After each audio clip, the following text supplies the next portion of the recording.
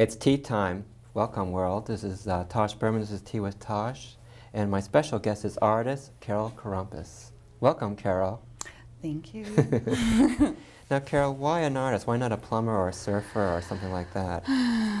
well, actually, um, there was an electrician that came to my studio two weeks ago, and he asked me if I'd be interested in working with him. Yeah? The pay would have been better.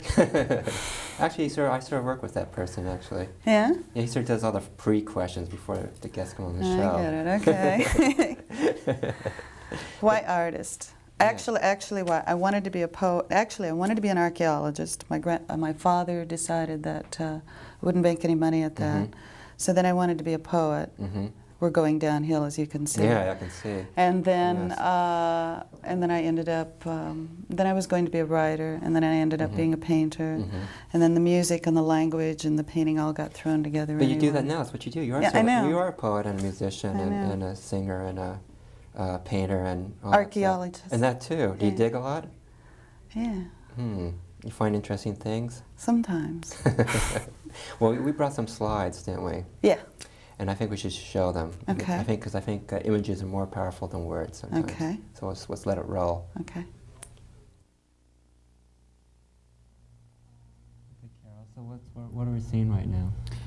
Um, let's see. All of these uh, slides or pieces are from the last uh, year and a half, mm -hmm. and this piece is smaller. It's about two by three feet. It's called Daredevils. Um, the two lovebirds in the uh, background there are made of broken glass. And then uh, there is a linear image of the man and woman fighting on mm -hmm. top of the original image. So that's, I use that, that line image a lot for psychological or emotional um, impact. Mm -hmm. And all of these works are basically about men and women mm -hmm. and cultural references. Is, are they, is that sort of like a cha-cha line? Cha-cha line, uh, that's uh, four men hiding behind a tree so the bull won't get them. and they've completely fooled the uh, they're bull. Com they're completely scared. Should we go by the next slide? Okay. Which one do we do? Push this? We push the front one. Right here? No, right here. Oh. Okay. Okay. Um, this, this, is a drawing, and uh, it's on black paper with um, white pencil mm -hmm. uh, image of the blind woman, and then overlaid on top of that is uh, a male-female couple, mm -hmm. uh, blind faith. Get it? I, I'm not that blind. I wear glasses, you know. okay. That's beautiful. I love that one. Okay, that, that drawing was a study for this painting, mm -hmm. uh, which is made of uh, four panels. It's about three by four feet. And uh, again, uh, it's black and white. This is all acrylic on wood. Um, mm -hmm. The four different images. Um, I always I use a lot of language image, and then the line work again of the male-female couple. Mm -hmm. There's like se four separate panels. Yeah, they're actually framed. Uh -huh. four separate panels that go together to form one image. Hmm. Very interesting. Okay, this is about uh, five feet by eight feet, and uh, it's big. Mm -hmm. And it's called Head in Hell, Feet in Paradise. And um, the piece essentially is about uh, what would we call this? Uh, again, male female references, but -huh. an area of infantilism. -huh. -huh. Especially the lower half.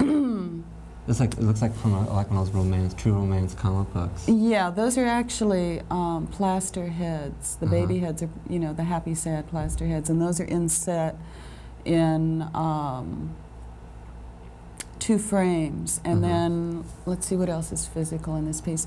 The cactus is made up of broken glass and nails, and uh -huh. then uh-huh. the uh, coyote and is made up of hay and modeling paste, and the uh-huh. lamb is made up of uh, cotton and modeling paste. And then the, the female figure, the sort of line, uh, naked female mm -hmm. figure that's going across, is actually lifted up off of the uh, uh, acrylic panel. Mm -hmm.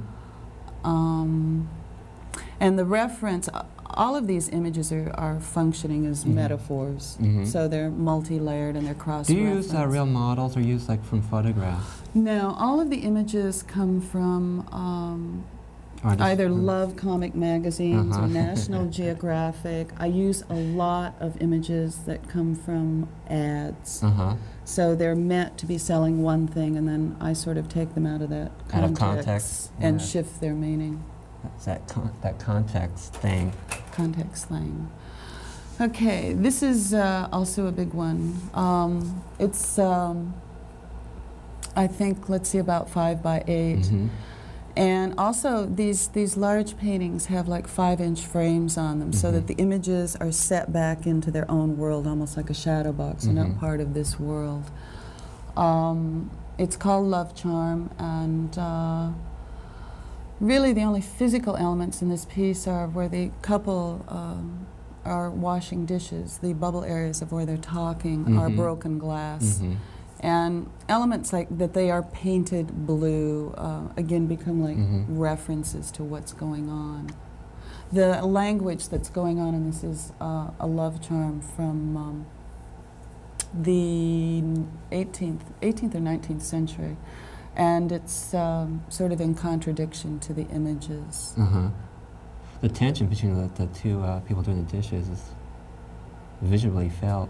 You can just feel it. yeah they're not happy No. You know them personally? i think i've met them yes, I think I did too. And how dare you comment on my life that way? okay, well, Okay. Um, this piece is also, uh, I think it's about six by six by eight, mm-hmm. eight and a half. Um, the other two larger pieces were on panels, wood panels. This one is on canvas, Mm-hmm. And it's called Deja Vu. Mm-hmm. Um, let's see. What was he saying there? Why? Why will she not speak to anyone? And Uh-huh. then it says to make conversation in the old tongue, the old worn out language, it can't be done. Usually I use uh, my own writing. In this Mhm. particular case, it's from Walker Percy, and I thought it was sort of perfect for the combination of images. It's funny. You the, the, you know, the, the, the drawings have like a very 40s illustration feel to it. I mean, is that like your favorite? And the paintings, well, a lot of the images come from um, 40s, 50s Uh-huh. kind of sources. Uh-huh. Again, going back to this business of like advertising, a lot of those images uh, within that particular cultural period were trying Mhm. to sell men and women in a certain way. Mm-hmm. Uh, and again, that's why that's where those images come from. This is another drawing. Um, it's called Echo. One will suggest, one will resist. And these heads that are in this um, drawing were also Mhm. used in the last painting. They sort Mhm. of circle around the painting. Sequel. Yeah, they're actually uh, heads from an X-ray book Oh, great. uh, showing the part of uh, the head that they want to shoot. Very interesting. I like how the, the timelessness of it and that sort of for because always when I see something from the 40s, it always has a timeless quality to me. I don't know why. Yeah. It's always contemporary looking. Well, it's not. They're not meant to be t- used for nostalgic Mhm. reasons. They're more for yeah, it isn't at all. what that image was Uh-huh. used for in terms of culture. Um, this is another drawing, and again, um, the heads are there. Uh, the images that they're running through um, or over are from uh, last year at Marienbad, Oh, great. the film. Yes. and this piece is called From Last Year. Oh, great. And the heads are sort of all Uh-huh. this line work is used as Mhm. like a psychological device. Mhm. So it changes how you see those images, as does the language. If you were to make a movie, would that be the movie you would like to have made? Not a bad one. Maybe they can do a TV version, like a TV uh, serial. Last year in Marienbad. Okay. Wow, this is like really ritualistic. Yeah, that's sort of the idea of myth and metaphor and culture and ritual sort of coexists in all of these. Uh-huh. Um, this one's called Thunderbolt Handler, and it's also quite large. It's on canvas. Uh-huh. uh, and will also be framed in the same way. And it's about six by eight or nine, um, where the language says romantic dynamite, instruments of passion, out of the Mhm. great and terrible wilderness they carved the promised land. That language is actually carved into um, the image. Oh, really? It's like modeling paste, and then the language is Oh, I see. carved So in. literally, it's carved in the It's painting. literally carved. Huh. Uh, and the two figures, uh Uh-huh. the two Oriental figures, um, our guardian Uh-huh. figures, uh, and their chests and their heads are all made up of broken glass. Um, the piece is sort of about um, uh, desire and Mhm. otherness, uh, that which is um, the most, say, sensual um, elements are in front, and then uh, the circle, the gold leaf circle in the back, Mhm. is sort of the, the other desired. And Hmm. that is my cat, Signor, in the front. Do you want another cat? I have to get rid of a cat. You want to? Does he need a companion? No, he's a um, single cat. Oh, okay. He doesn't like other cats, he likes people. I guess the future guest will have to take my cat. Okay, this is the um, last drawing. Mm-hmm. And uh, this drawing, let's see, the bottom image is uh, Emma Peel from the Avengers. Oh, oh, I love the Avengers. And uh, I've used uh, images of uh, the Avengers in performances before. Oh, that's great. And then the ladder leading up, uh, Uh-huh. the couple making love, and then the, the whole structure Uh-huh. system that goes over it is a uh, heating system for Uh-huh. a furnace. And it's called a kind of perpetual motion machine. Oh, that's great. It's like a serial, Yeah. like a t- you know, like a movie serial. yeah. A thrill. And that's it. That's it. Terrific. Thank you so much for bringing the slides. You're welcome. I like them. Um, you also brought a video, didn't you, of some sort? Right. Um, let's see, the last performance I did uh, was called A Game of Solitaire, but it is uh, on half inch tape, so it's not here. Mm-hmm. Uh, the one we're showing is called uh, Mystical Unions, and the piece is from about 1984. 1984. Yeah, and the structure of the piece essentially um, moves around a game of chess that Mhm. a man and woman are playing.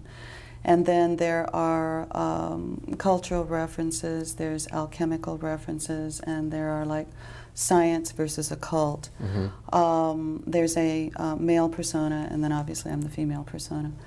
Um, and the section that you're going to be seeing is the last part of the performance, which was an hour long. Mm-hmm. And it's a sequence where um, I believe there's some chess reference, some jokes, some alchemy reference, and then I go into a song. Mm-hmm. Uh, the singing is done with a pre recorded tape Mhm. that has um, my vocals and percussion. So this tape is like everything for the whole family, a little bit of everything. Um, if it's not there, you're missing something. Well, um, audience, please watch very carefully because there'll be a test after the viewing. Let's let it rip. Yeah. Let it roll. Yeah.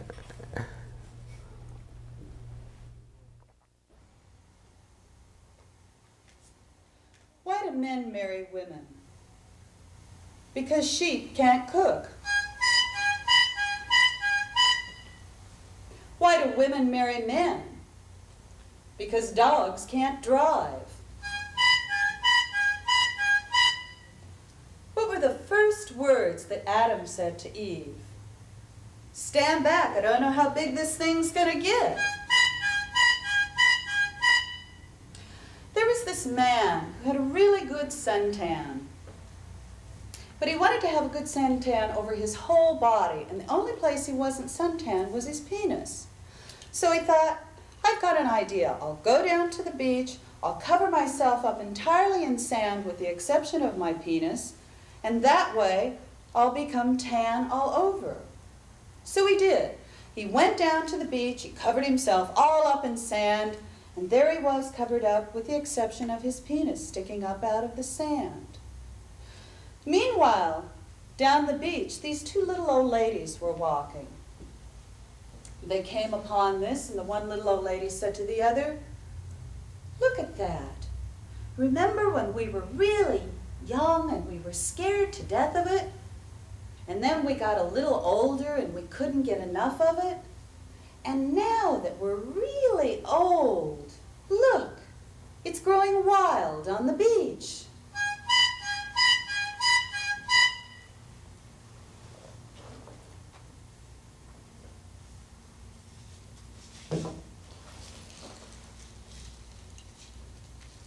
The pawn can move in only one direction, forward.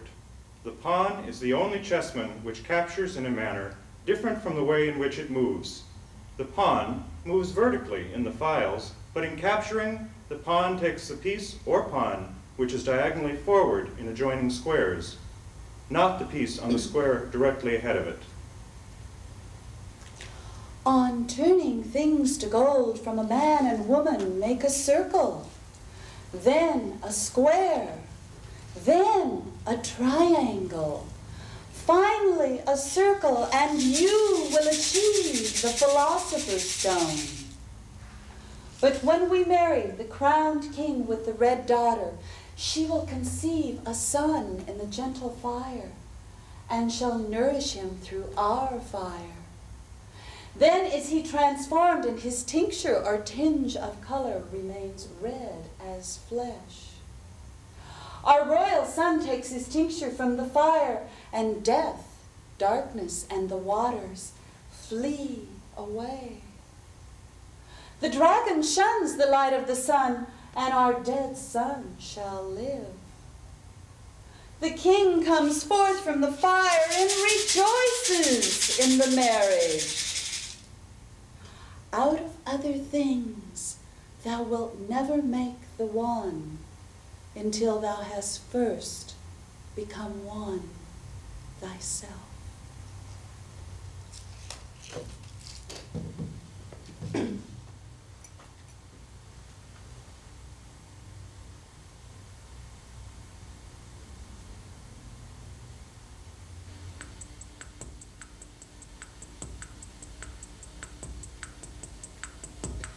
Newspaper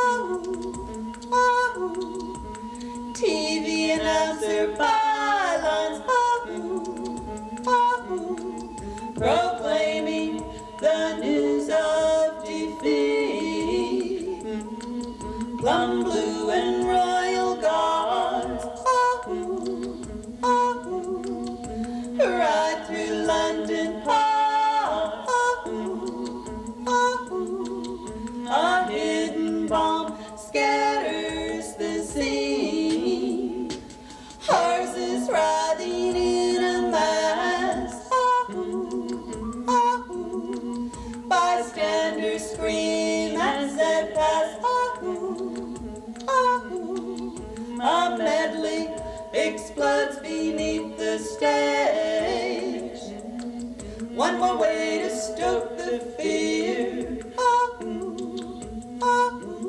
Millions read and watch and hear. Ceremonial march ends in a scene of horror. Dancing waters, a tropical fountain. It was supposed to be paradise, but it's just now, now, now, dancing waters, a tropical fountain. It was supposed to be paradise, but it's just now, now, now. You receive pictures and a bio of exotic her. She wrote back, he flew out and met exotic her. One week later, they were married by a photocopy machine.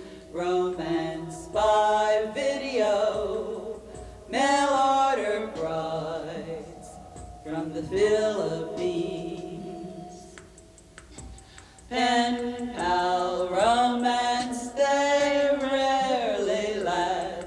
Exotic her wants to leave her country, just plain him's a social outcast.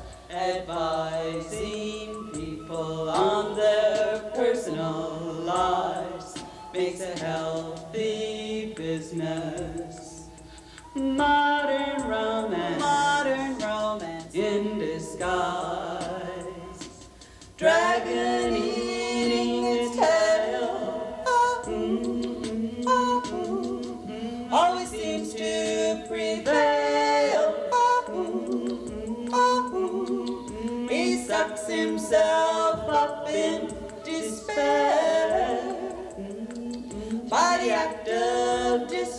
destruction. Ah, mm, ah, mm. He provides another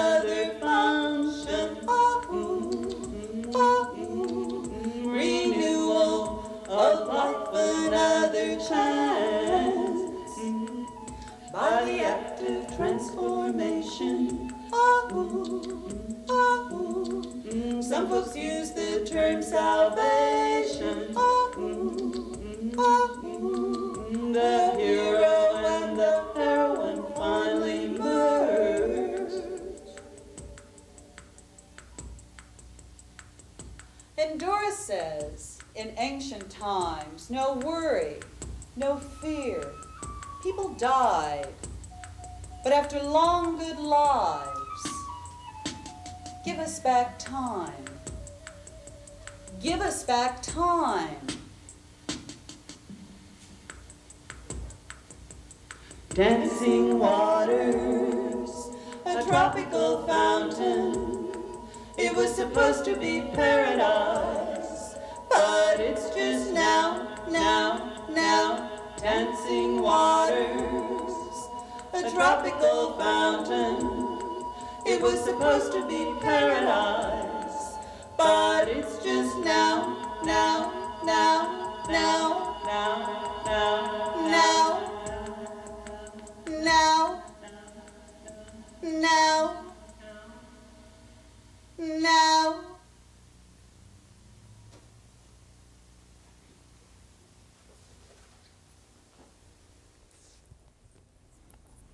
Very interesting tape, Carole. I like it very much. Thanks. What I heard. Thanks. That's the the, the audio the last the the, last part. the audio is like was great. Well, the most of it, it's it's sort of this language, Mhm. image, singing, language, image, singing, and um, I did that piece about six different times. Peter Levitt, who is a poet, Oh, was yes. the Uh-huh. male version Uh-huh. um, in many of the pieces that I performed. On that particular tape, it's Roy Dowell, who is Uh-huh. also a painter, artist. Huh. How many perform? Uh, do you still do performances? Yeah, I haven't done any in about two years. The last one I did uh, was called A Game of Solitaire, Mhm. and it was based on um, games of solitaire, card Mhm. games. And the character I played was a um, night watchman for a natural history Mhm. museum. And the three things the night watchman did was to play games of solitaire, Mhm. watch TV, uh, only watching the Ave- Avengers, and Only. only watching the Avengers, Uh-huh. and then uh, giving these uh, uh, imaginary tours through the different parts of the museum. Hmm. So again, it's it's romance, men, women, culture, science, Mhm. cult. Um, there were also sequences of dreams, uh, Mhm. as there were also in Mystical Union. Uh, when you perform, do you feel in a sense trapped in the art world? As, I mean, you play, do you play in art galleries when you perform, or in museums, or? Yeah, primarily I always have. That's one thing I I haven't done anything in a couple of years because I'm sort of uh, I don't know have been Mhm. going through what performance is and how it actually fits into the art world. Uh-huh. There's been so much collaboration in the last few years that it really has moved into theater. Uh-huh. Um, and I tend to go back and forth between painting and performing and writing anyway. So. hmm Do you separate it in your mind? Do you separate painting from like a live performance, or? They sort of end up in the same place. What will happen is I might do a series of paintings, Uh-huh. And then uh, that certain parts of that information get incorporated Uh-huh. into the performance. So what was static becomes live. Uh-huh. Uh, I'm like walking through being Mhm. the paintings in a way. So, what is it about boys and girls that interests you so much? Doesn't it interest everybody? Not me. Oh, get out. Nobody here. it's the oldest story in the Uh, world. it's the oldest story in the world, Uh-huh. and it's uh, you know you can um, dress it up and tell it a different way every time. Ever since you were a young teenager, were you always interested in, in sort of the conflict between uh, men and women? If there is a conflict, if there is tension. Well, I there is that. I I think of it also as duality, you know, Mhm. and what causes that duality, and what uh, what makes the difference, uh, what makes it work, and what makes it not work, Mhm. and how the culture influences the roles Mhm. and how they change, etc. Hmm. And have men changed uh, over the over the years? I think so, don't you? I, I, I'm too much of a man to notice these things. Mm. I look at myself in the Um, mirror and I look at myself, and um, oh, I'm talking about evolution type of stuff. You're talking about like. I'm okay. talking maybe about de-evolution. De-evolution, yes. yes, it's a very serious subject. Do you think women have changed? Yes, definitely. They're, they're totally different people than I know like five years ago. Yeah. They're I knew this girl five years ago and I know her still, but she's absolutely different now. I don't know why. Maybe it's TV or something like that. so you did you put a record out? Yeah, in fact, I, um, let's see, I did a performance called Target Practice, I think in 80 or 81. mm -hmm. And I did a record. I've also done books. Um, also, High Performance did a. Um, Oh, the magazine, High yeah, that, uh-huh. they did a, record, a double record actually. Oh, really? Several artists. Terry Allen's on it. Um, Mhm. Different people, and I have a song on that. Too. Well, Carole, thank you so much for being my guest. You're welcome. And please come back again. Okay. And world, um, I don't know what to say to you all the time. You seem so distant sometimes, so please come to my house.